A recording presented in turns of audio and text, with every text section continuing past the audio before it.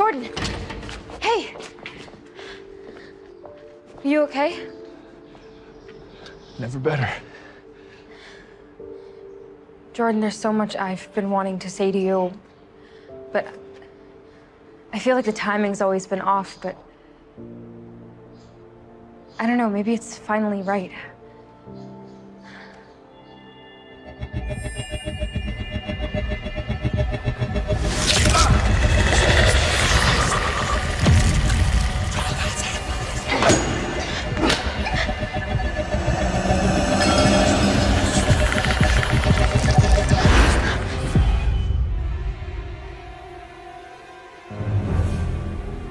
It's been you. This whole time.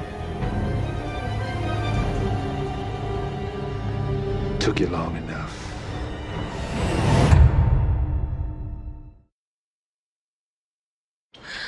Whatever you are, you need to back the hell up now. Cute trick. But I'm an ancient creature. Your magic means nothing to me. Maggie, get back. He might be infected. No, he's the one doing the infecting. Just had to keep you distracted long enough for my soldiers to reach their full potential. I gave you truth serum. Truth, lies, human constructs that don't apply to someone of my stature. Why are you doing this? Why use Jordan? I spent 20,000 years locked away in that prison. All because the Perfecti deemed me too chaotic for this world. But then, along came the Honorable Mr. Chase. The first human ever put inside the tomb. You didn't escape the tomb to find a host. You found one in the tomb.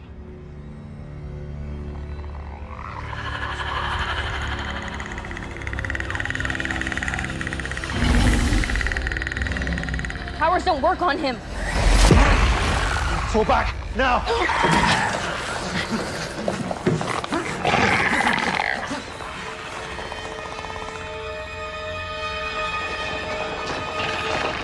Back up. Oh. A containment field might hold them, but the powder's downstairs. I've seen you create one without him when you're all together. Without Mel, we'd need to at least touch. Wait, I held Jordan's hand. Happy for you, Maggie, really, but maybe now's not the time. No, no, if he's possessed, he's magical. Which means the allergy cure. It worked.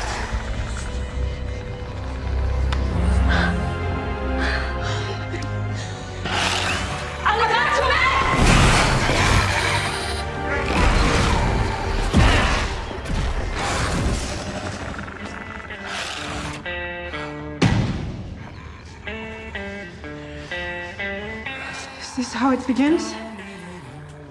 The end of the world?